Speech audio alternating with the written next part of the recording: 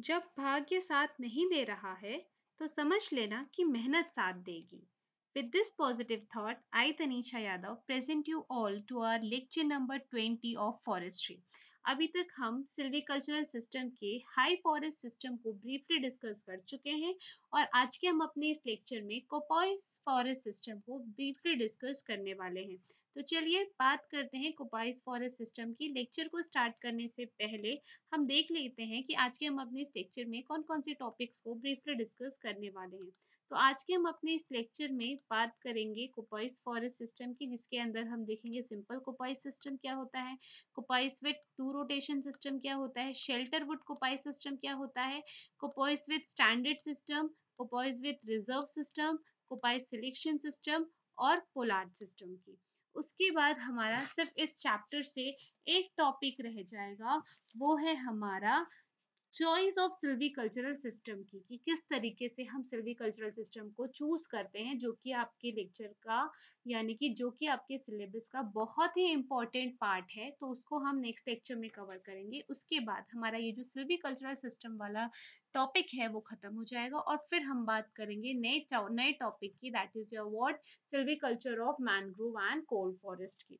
तो चलिए स्टार्ट करते हैं अपने इस लेक्चर को और बात करते हैं कोपाइस फॉरेस्ट सिस्टम की। तो जब हम कोपाइस फॉरेस्ट सिस्टम की बात करते हैं तो ये एक तरीके का सिल्वी कल्चरल सिस्टम होता है, जहाँ पर जो नया क्रॉप है, वो कहाँ से ओरिजिनेट होगा? मेनली फ्रॉम कोपाइस, यानी कि कोपाइस से जो नया क्रॉप रीजनरेट हो रहा है, ऐसे फॉरेस्ट सिस्टम को हम क्या कहते हैं? कोपाइस फॉरेस्ट सिस्टम कहते हैं। और यहाँ पर जो रोटेशन ऑफ़ क्रॉप होता है, वो जनरली कम पीरियड का होता है शॉर्टर होता है as comparison to high forest system देखिए, यहाँ पर डेफिनेशन जो है वो आपको दी हुई है। ये देखिए, यहाँ पर हमारे पास एक हरा भरा पेड़ था, हमने उसकी हार्वेस्टिंग करी और हार्वेस्टिंग कर कर हमने यहाँ पर ये जो कोपोइस है in the form of stool उसको हमने यहाँ पर क्या कर दिया, छोड़ दिया और फिर कुछ टाइम बाद जो है रीजनरेशन जो है वो यहाँ से स्टार्ट हुई और धीरे धीरे रीजनरेशन होके वो वापस से एक पेड़ में, एक क्रॉप में कन्वर्ट हो गया।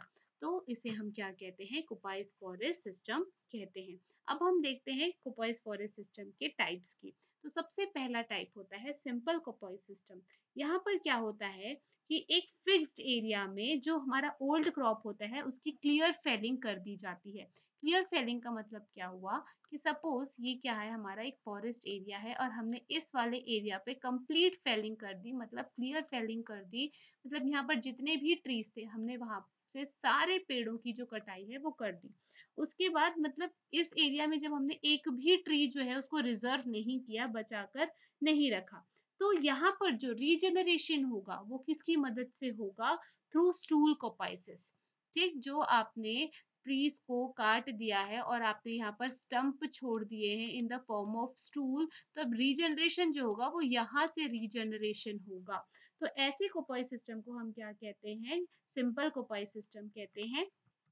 और यहाँ पर जो कुपॉइसिंग की जाती है, वो स्प्रिंग से स्टार्टिंग के पहले ही कुपॉइसिंग जो है, वो थोड़ी बहुत स्टार्ट कर दी जाती है।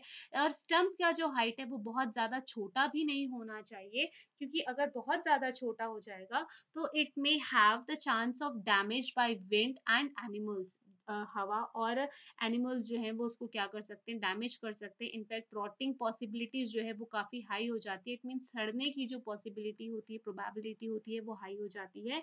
और ड्राइंग या टर्म स्प्लिटिंग की भी जो डैमेज है कॉज है डेंजर है, वो क्या हो जाता है, बढ़ जाता है। तो इस वजह से स्टम्प का जो हाइट है, वो बहुत छोटा भी नहीं होना चाहिए। प्लस यहाँ पर जो ऑप्टिमम स्टम्प हाइट जो है, रखी जाती है, वो 15 टू 25 सेंटीमीटर रखी जाती है। प्लस कटिंग ऑफ़ स्टेम जो है, जब आप स्टेम की कटाई करते हैं तो वो स्लोपी मैनर में कट होना चाहिए। जैसे फॉर एग्ज़ाम्पल ये कोई, एक सेकेंड में व्हाइट कलर का मार्कर ले लेती हूँ ठीक तो अब ये क्या है? ये ट्री है।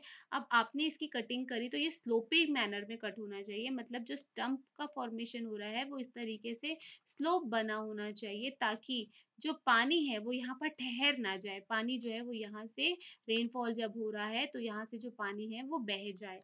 तो इस वजह से कटिंग जो है वो in a sloppy manner cut किया जाना चाहिए ताकि रेन वाटर जो है वो इजीली ड्रेन हो जाए। फिर टेंडिंग ऑपरेशन जो है वो दूसरे सेकेंड ईयर से जो है टेंडिंग ऑपरेशन जो है वो कैरी आउट किए जाते हैं। प्लस थीनिंग जो है वो according to the management option जो है वो की जाती है कि आपको किस तरीके से आपको पेड़ चाहिए। और उसके मैनेजमेंट ऑप्शन को देखकर थीनिंग जो है वो की जाती है और क्रॉप यहाँ पर जो अपटेन किए जाते हैं वो इवन एज्ड होते हैं।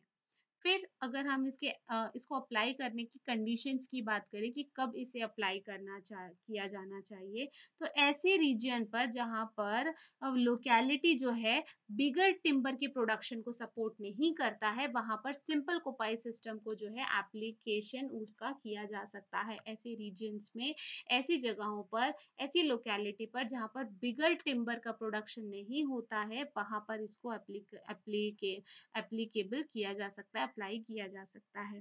फिर ये जो suitable it is suitable for social forestry establishment फिर it is suitable for private lands as rotation जैसे मैंने आपको बताया था हमारे स्टार्टिंग के लेक्चर पे ही कि सोशल फॉरेस्ट्री क्या होती है प्राइवेट लैंड्स क्या होते हैं तो वहाँ के लिए ये काफ़ी ज़्यादा सुटेबल होता है क्योंकि रोटेशन क्या है, काफ़ी शॉर्टर है तो आपके जो क्रॉप्स है वो आपको जल्दी मिलेगी और इनकम भी आपकी ज़्यादा होगी क्योंकि रोटेशन पीरियड जो है वो शॉर्ट है इस वजह से। ठीक? फिर अगर हम इसकी एप्लीकेबल कौन सी स्पीशीज के लिए की जाती है तो ये जो है ड्राई जैसे फॉर एग्जांपल ये ड्राई फ्यूल फॉरेस्ट जो तमिलनाडु में है, वहाँ पर जो है इस इस सिंपल कुपाई सिस्टम को जो है उसको अप्लाई किया जाता है। फॉर यूकैलिप्टस ग्लोब्यूलिस ये एक स्पीशी है। तो ये काफ़ी इंपॉर्टेंट पॉइंट है, इससे आपको क्वेश्चन पूछ सकता है। काफ़ी इंपॉर्टेंट है कि सिंपल कुपाई सिस्टम को कहाँ पर फॉलो किया जा रहा है। तो तमिलनाडु के ड्राई फ्यूल फॉरेस्ट पे जो है इसको फॉलो अप किया जा रहा है, इसको अप्लाई किया जा रहा है। फिर अब हम बात करते हैं coppices of two rotation system की it is the second type of coppice forest system. तो यहाँ पर क्या होता है, इस सिस्टम में जनरली फ़र्स्ट रोटेशन के एंड तक जो कोपोइस है फ्यू सिलेक्टेड पोल्स जो हैं, जो बचे हुए रहते हैं, उनको सेकेंड रोटेशन के लिए छोड़ दिया जाता है। मतलब सपोज़ कि आपके पास ये कोई एक फॉरेस्ट एरिया है तो आपने इस आधे पोर्शन का जो है, आपने क्या किया फ़र्स्ट रोटेशन में इनको क्या किया छोड़ दिया। सिलेक्टेड पोल्स जो है, जैसे सपोज़ कि यहाँ पर आपने कुछ पेड़ों की कटाई करी और कुछ पेड़ जो है आपने उनको छोड़ दिया और उनको आप क्या करोगे? सेकेंड रोटेशन में आप उनको क्या करोगे? सिलेक्टेड पोल्स को आप कट करोगे। तो that is your what coppices of two rotation system यहाँ पर जो इसका ऑब्जेक्टिव होता है, वो ये होता है कि आपको कुछ टिम्बर्स जो हैं वो बड़े साइज़ के मिले। क्योंकि मैंने आपको क्या बताया कि फ़र्स्ट रोटेशन जो है, जैसे सपोज़ आपने यहाँ पर सबसे पहली बार क्या करी? फेलिंग करी कटिंग करी। तो यहाँ पर आप कुछ ट्रीज जो हैं, आप उनकी कटाई नहीं करोगे, आप कुछ स्टैंड जो है, कुछ फ्यू सिलेक्टेड पोल्स जो हैं, उनको छोड़ दोगे ताकि वो और ज़्यादा ग्रो करे। और जब सेकेंड रोटेशन का टाइम आएगा, तब आप उनकी कटाई करोगे। ठीक तो इसका जो मेजर ऑब्जेक्टिव होता है, ताकि आपको कुछ बिगर साइज़ टिम्बर जो है, वो आपको मिले। और फिर जो यहाँ पर जो सिलेक्टेड पोल्स होते हैं, उनको रिटेन कर दिया जाता है सेकेंड रोटेशन ऑनवर्ड्स के लिए। और इनिशियल फेलिंग में उनकी कटाई जो है, वो नहीं की जाती। ठीक, फिर थर्ड आता है हमारा शेल्टर वुड कोपाई सिस्टम तो यहाँ पर जो शेल्टर वुड है, जो स्टैंडर्ड होता है उनका, आपको पता ही है कि शेल्टर वुड सिस्टम क्या होता है। हम इतने टाइम से डिस्कस करते आ रहे हैं शेल्टर वुड सिस्टम क्या होता है। बस यहाँ पर जो शेल्टर वुड सिस्टम होगा, वो कोपाइस वाला होगा। मतलब जो रिजेनरेशन हो रही है, यहाँ पर वो कोपाइस के थ्रू होगी। बाकी हाई फॉरेस्ट सिस्टम में किसके थ्रू हो रही थी? बीजों के थ्रू सीडलिंग के थ्रू हो रही थी। ठीक? तो अब यहाँ पर क्या हो रहा है कि कुछ शेल्टर वुड्स जो होते हैं, वो स्टैंडर्ड्स के होते हैं। इट मीन्स 125 टू 150 जो आप प्लांटिंग करोगे तो 125 150 जो है, आप उसको फ़र्स्ट लेयर फेलिंग में जो है, आप उनकी कटाई रोक दोगे। ताकि आपको स्टैंडर्ड जो है वो मेंटेन रहे। अब जो शेल्टर ट्रीज जो यहाँ पर होंगे, वो मोस्ट प्रॉमिसिंग वंस होंगे। इट मीन्स व्हाट कि जिनकी कटाई आपने रोक दी है इनिशियल फेलिंग में फ़र्स्ट लेयर फेलिंग में, वो आपको बहुत अच्छा टिम्बर देंगे और आपको उनकी ग्रोथ देखकर ही लग जाएगा कि नहीं बॉस ये तो काफ़ी अच्छा बड़ा होने वाला है और आपको जो बदले में जो टिम्बर मिलेगा, वो काफ़ी अच्छी क्वालिटी का होगा। नॉट फ्री टिम्बर्स होंगे तो वो बहुत ही प्रॉमिसिंग वंस होंगे। अब यहाँ पर जो ट्रीज रिटेन्ड होते हैं, वो ऐसे होते हैं और बहुत ही काफ़ी सिक्योरली एस्टेब्लिश किए जाते हैं, जो कोपाइसेस जो है उनको रिटेन किया जाता है उन कोपाइसेस को, जिनको पता है कि ये डेफिनेटली बड़े होंगे तो ये काफ़ी अच्छे टिम्बर जो है, वो हमें प्रोवाइड करेंगे। तो देयरफॉर देयर आफ्टर शेल्टर जो है, वो ग्रेजुअली रिमूव किया जाता है धीरे धीरे और जो नंबर ऑफ़ स्टैंडर्ड्स रिटेन की जाती है, वो स्पीशीज के अकॉर्डिंग वेरी करती जाती है, उनके कंडीशंस के अकॉर्डिंग वैसे अगर नॉर्मली देखा जाए तो नॉर्मली प्रिस्क्राइब्ड स्टैंडर्ड जो है, वो प्रति हेक्टर एक हेक्टर में 125 से 150 जो कोपाइज होंगे इनिशियल तौर पर उनको छोड़ दिया जाता है। और फिर बाद में फिफ्थ ईयर में उनको रिड्यूस कर दिया जाता है तो फिफ्थ ईयर में वो 60 टू 75 पर हेक्टर रह जाते हैं। और दसवीं साल में कम्प्लीटली उनका जो रिमूवल है, वो कर दिया जाता है। फिर अगर हम इसके कंडीशन ऑफ़ एप्लीकेबिलिटी की बात करें कि किन कंडीशंस में शेल्टरवुड कोपोइस सिस्टम को अप्लाई किया जाता है, उनका एप्लीकेशन किया जाता है तो ये उस रीजन में एप्लीकेबल होता है जहाँ पर फ्रॉस्ट जो है बहुत ही कॉमन होता है। फ्रॉस्ट की कंडीशन काफ़ी कॉमन होती है वहाँ पर और ये उस साइट के लिए एप्लीकेबल है। बहुत ही अच्छा साइट माना जाता है जहाँ पर कंडीशंस कैसे होते हैं? लार्ज साइज़ टिम्बर प्रोड्यूस करने की कंडीशंस होती है और ये उस कंडीशन के लिए भी, उस रीजन के लिए भी एप्लीकेबल है जहाँ पर स्पीशीज जो हैं, वो कोपॉइस के थ्रू कोपॉइस के थ्रू लॉन्गर ड्यूरेशन तक टिक पाते हैं और उनकी जो जनरेशन है रीजनरेशन है, काफ़ी अच्छी हो पाती है with the help of coppice और ये उस रीजन के लिए भी एप्लीकेबल है जहाँ पर ज़्यादा से ज़्यादा स्मॉल साइज़ टिम्बर की ज़रूरत पड़ती है। ठीक, चलिए। नेक्स्ट जो है हमारा फोर्थ टाइप जो है कोपोइसिस का, वो है कोपोइस फॉरेस्ट सिस्टम का, वो है कोपोइस विथ स्टैंडर्ड सिस्टम तो यहाँ पर देखिए, यहाँ पर क्या होता है, ये एक तरीके का कौन सा सिल्विकल्चरल सिस्टम है जो कि कोपोइसिस पे बेस्ड होगा, लेकिन ऐसे कोपोइसिस पे जहाँ पर ओवरवुड जो है वो किसकी हो सिडलिंग ओरिजिन की हो, ध्यान से सुनिएगा।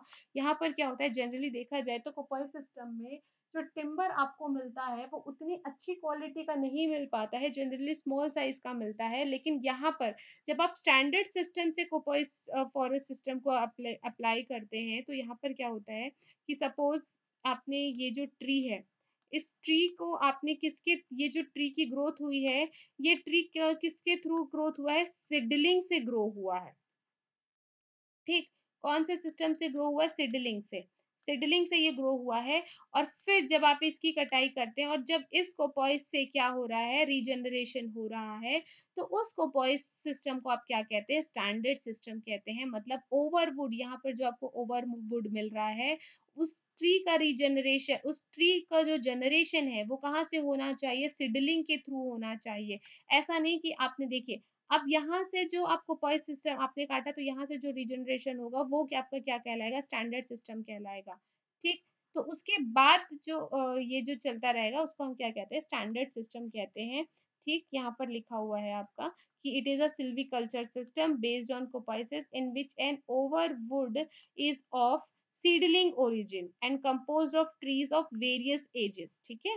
तो ये हम समझ गए हैं कि इसका मतलब क्या होता है और इसका जो मेन ऑब्जेक्टिव है, जो मेन स्टैंडर्ड जो इसका स्टैंडर्ड जो रहता है, वो कितना रहता है? मतलब इसका स्टैंडर्ड ऑब्जेक्टिव कीपिंग स्टैंडर्ड जो है वो ये कि to supply a large size timber बड़े साइज़ का टिम्बर सप्लाई करने के लिए to give protection against frost frost against protection के लिए। फिर क्या होता है? To enrich the coppice crops coppice crops के एनरिचमेंट के लिए to maintain vigour of the coppice seedlings to increase the revenue from unit area तो ये ये आपका क्या होता है? स्टैंडर्ड सिस्टम होता है फोर्थ टाइप होता है कोपाइस फॉरेस्ट सिस्टम का। अब यहाँ पर जो क्रॉप है वो दो स्टोरी दो स्टोरीज में कंपोज की जाती है। दो आ, दो लेवल में होता है जो लोअर स्टोरी रहती है वो इवन एज कोपाइसिस होती है वेयर एज जो अपर स्टोरी रहती है वो डिफरेंट स्पीशीज की होती है और डिफरेंट एजेस की होती है। सिमिलरली हर स्टोरी का जो रोटेशन होगा वो स्पेसिफिक रोटेशन होगा। Okay okay? जैसे हमने हाई फॉरेस्ट सिस्टम में टू स्टोरेड फॉरेस्ट सिस्टम के बारे में पढ़ा था तो यहाँ पर भी दो स्टोरीज होते हैं, दो लेवल होते हैं, ठीक? तो पहला जो लोअर लेवल होगा वो इवन एज का होगा अपर स्टोरी जो होगा वो डिफरेंट स्पीशीज का होगा और डिफरेंट एजेस का होगा ओके नेक्स्ट जो फिफ्थ टाइप है हमारा वो है coppice with reserve system coppice with reserve system की अगर मैं बात करती हूँ तो ये एक तरीके का सिल्विकल्चरल सिस्टम है, जिसमें क्या की जाती है? फेलिंग जो है, वो सुटेबल एरियाज़ पे की जाती है, जिससे कि बेनिफिट क्या हो कि आपने जो ट्रीज रिज़र्व करके रखे हैं, जिसपे फाइनेंशियली इमेच्योर ग्रोथ जो है वो हुआ इमेच्योर ग्रोथ है। आपने उनको क्या किया हुआ? रिज़र्व करके रखा हुआ है और आप उस पर क्या कर रहे हो? मैनेजमेंट टेक्निक स्टैंडिंग ऑपरेशन करते जा रहे हैं ताकि उस ट्री की जो ग्रोथ है वो प्रॉपरली हो जाए और प्लस जो वैल्यूबल स्पीशीज है, आपने उनको क्या करके रखा हुआ है? रिज़र्व करके रखा हुआ है। और फिर जब एक अच्छे टाइम पीरियड में आपका अच्छा साइज़ का टिम्बर हो जाएगा, तब आप उसकी कटिंग करते हैं, ताकि उसका कोपाइस जो है, वो भी काफ़ी कैसा होना चाहिए हेल्दी होना चाहिए। जब कोपाइस हेल्दी होगा तो उसमें से जो रीजनरेशन होगी, वो भी काफ़ी हेल्दी प्लांट की रीजनरेशन होगी। तो इस तरीके से, या तो आप वेल्यूबल स्पीशीज को सिंगल फॉर्म में भी अगर आप रखते हैं तो तो वो सिंगल फॉर्म में भी रख सकते हैं, या in the form of groups भी रख सकते हैं। तो यहाँ पर जो ट्रीज आप रिज़र्व करते हैं, वो कैसा होता है? या तो इकोनॉमिक्स के बेसिस पे यानी कि आपको लोअर लोअर इनपुट लगा के हायर आउटपुट चाहिए तो इस वजह से भी आप इकोनॉमिक्स बेसिस पे भी कर सकते हैं। या प्रोटेक्शन कंसिडरेशन अगर आप किसी वैल्यूबल स्पीशीज को एक्सटिंक्ट होने से बचाना चाहते हैं, उसको आप प्रोटेक्ट करके रखना चाहते हैं तो इस ऑब्जेक्टिव से भी आप इस रिज़र्व सिस्टम को फॉलो कर रहे होते हैं। तो यही बातें लिखी हुई हैं यहाँ पर। और अगर हम बात करें तो ये मॉडिफिकेशन होता है सिंपल कोपोइ सिस्टम का। वहीं यहाँ पर क्या होता है? रिटेंशन होता है some advance growth of teak to avoid unwanted sacrifice of food फिर poles of some miscellaneous species are also reserve to maintain a mixed crop which maintains a site quality definitely इस point को काफ़ी ध्यान से पढ़िएगा। फिर retention of all crops along nalas and in areas liable to erosion with a view to soil conservation nalas मतलब जो आप लोग नाले बनाते हैं प्रॉपर क्या करने के लिए ब्रेन वाटर को ड्रेन करने के लिए जो आप ड्रेनेज सिस्टम बनाते हैं तो सॉइल इरेजन को वो एक तरीके से क्या करता है, रोकता है और सॉइल कंजर्व करता है तो इस इस ऑब्जेक्टिव से भी कोपॉइस जो है वो रिज़र्व किया जाता है विथ रिज़र्व सिस्टम ठीक? फिर क्या होता है retention of some trees of local economic importance to provide materials to industries all other are practices are similar to simple coppice system बस यहाँ पर क्या हो जाता है कि सारे प्रैक्टिसेस जो हैं वो सिंपल कोपाइस सिस्टम की तरह ही होते हैं, लेकिन आपका जो ऑब्जेक्टिव होता है वो डिफरेंट हो जाता है और थोड़ा सा मॉडिफिकेशन हो जाता है सिंपल कोपाइस सिस्टम से। ठीक? चलिए, अब हम बात करते हैं किसकी? Six part that is your what coppice selection system की, यानी कि आपके सिक्स टाइप की, जो कि कोपोइस फॉरेस्ट सिस्टम को बिलोंग करता है। तो ये ये सिल्वी वो सिल्विकल्चरल सिस्टम है, जहाँ पर फेलिंग जो है, वो प्रिंसिपल ऑफ़ सिलेक्शन सिस्टम के प्रिंसिपल पर की जाती है। बट रीजनरेशन जो है वो आपका किसके थ्रू ऑप्टेन होगा? कोपाइस के थ्रू हम ये ऑलरेडी पढ़ चुके हैं। यहाँ पर क्या होता है? सिल्विक ये एक तरीके का सिल्विकल्चरल सिस्टम है, जहाँ पर कटिंग ऑफ़ ट्रीज जो है वो कौन से प्रिंसिपल पर वर्क करेगी? सिलेक्शन सिस्टम पर वर्क करेगी। बट रीजनरेशन जो है वो आपका कोपाइस के थ्रू ही होगा। प्रोसीजर देख लेते हैं। यहाँ पर जो एक्सप्लॉयटेबल साइज़ जो होता है वो फिक्स्ड होता है। दैट मीन्स वो डायमीटर ऑफ़ गर्थ जो है वो फिक्स्ड होगा। बेस्ड ऑन द नीड और डिमांड अब नीड कैसी है, आपका डिमांड कैसा है तो उसका जो साइज़ होता है, वो फिक्स्ड होता है। फिर देयर आफ्टर फेलिंग साइकिल जो है, उसको अकॉर्डिंगली डिटरमाइन किया जाता है प्रॉपरली उसको देख रेख किया जाता है कि कब आपको उसकी फेलिंग साइकिल जो है उसको परफॉर्म करना है, फिर रीजनरेशन जो है वो कोपोइसिस के थ्रू ही ऑप्टेन किया जाता है और यहाँ पर जो आपका क्रॉप ऑप्टेन होगा वो अनिवेन एज्ड होगा और ये किसमें किसमें अकाशिया का टेचू अकाशिया मोडेस्टा ओलिया कस्पिरेटा एंड साल फॉरेस्ट पर इसको अप्लाई किया जाता है। तो यहाँ पर जो एप्लीकेबल वाला पार्ट है, उसको ध्यान से देखिएगा और हो सके तो नोट डाउन करते रहिए, क्योंकि आपको यहाँ से एमसीक्यूज जो है, वो बहुत ही पूछ सक, बहुत ही अच्छे से क्वेश्चन यहाँ पर से बन सकते हैं कि कोपोई सिलेक्शन सिस्टम जो है, वो किस पर एप्लीकेबल है, इस तरीके से। फिर लास्ट जो है हमारा, वो है पोलार्ड सिस्टम तो पोलार्ड जो है, वो किसको रिफर करता है? It refers to the cutting of tree stem usually above the browsing height यानी कि क्या हो रहा है कि यहाँ पर आप जो ट्री के स्टेम को कट कर रहे हो सपोज़ ये कोई ट्री है और आपको कोपाइस जैसे आपका जो नॉर्मल स्टैंडर्ड है, आपको कोपाइस उतना जो है वो आपको रखना है ताकि वो विंड या एनिमल के द्वारा कोलैप्स ना हो सके तो आप उसका जो लंबाई है वो थोड़ा और ऊपर रखते हैं और सपोज़ यहाँ तक कि आपके कोपाइस रखना है बट आपने क्या किया? आपने कटिंग यहाँ से करी। तो ऐसे सिस्टम को हम क्या कहते हैं? पोलार सिस्टम कहते हैं। To obtain a flush of shoots flush of shoots का मतलब वो शूट्स वो shoots with immature leaves shoots मतलब stems right shoots with immature leaves ठीक? तो इमेच्योर लीव्स को हटाने के लिए, यानी कि देखिए, आप कटिंग इस तरीके से करते सपोज़ यहाँ पर इमेच्योर वो है, क्या है लीव्स है। तो आपने कटिंग यहाँ से करी और जो इमेच्योर लीव्स है वो यही रह गए। तो वो क्या होंगे, बाद में वो झड़ जाएँगे और वो एक तरीके से क्या करेंगे इमेच्योर लीव्स हैं। तो ये क्या होंगे मेच्योर होने तक यहाँ पर जो कोपाइस रह गया तो उसमें एक तरीके से जान रहेगी, है ना? एक तरीके से क्या होगा, उसमें जान रहेगी और वो नेक्स्ट टाइम रीजनरेशन के लिए वो क्या करेगा हेल्प करेगा। और पोलार्ड सिस्टम जो है वो एप्लीकेबल है for obtaining maximum fodder fodder का मतलब क्या होता है? जो हम भेड़, बकरियों, गाय के लिए जो हम चारा ले जाते हैं तो ये उसके लिए बहुत ज़्यादा काम में लाया जाता है। और इसलिए ये किस पे किसमें एप्लीकेबल है? सेलिक स्पीशी में हार्डविकिया बिनाता में और मिक्स ड्राई डेसिडियोस फॉरेस्ट जो होते हैं, वो पोलार्ड सिस्टम को फॉलो कर रहे होते हैं। जैसे देखिए, यहाँ पर आपको डायग्राम दिखाई दे रहा है। यहाँ पर देखिए, ये जो ये ए पिक्चर है यहाँ पर पार्ट ए में देखिए कि यहाँ पर हमने क्या किया हुआ है कि ये जो हमने इसकी कटिंग करी है तो देखिए यहाँ पर हम, ये तो कम्प्लीटली कोपाइस हो गया, लेकिन जब हम पोलार्ड सिस्टम की बात करते हैं तो हमने देखिए यहाँ पर नॉर्मल जो है थोड़ा सा शूट्स जो हैं, वो रह गए हैं फ्लैश ऑफ़ शूट्स जो है, वो रह गए हैं। और फिर देखिए बी वाले पार्ट में क्या हो रहा है, एक साल के बाद जब रैपिड ग्रोथ हो जाती है स्ट्रेट रॉड्स की तो पोलर सिस्टम देखिए, यहाँ पर आपने इतना छोड़ दिया है और इसको जो है आप cut above the height of grazing cattle and deer ठीक है मतलब आप जैसे देखिए, आप उस के ऊपर, जैसे सपोज़ यहाँ पर क्या हो रहा है कि आप इसको कट कर रहे हैं तो यहाँ पर जो डियर है, जो कैटल है, वो यहाँ पर आकर इसको खा नहीं सकते। तो आप थोड़ा ऊपर तक छोड़ते हैं मतलब यहाँ हाइट तक जो है, वो कैटल जो है, वो नहीं पहुँच पाएँगे।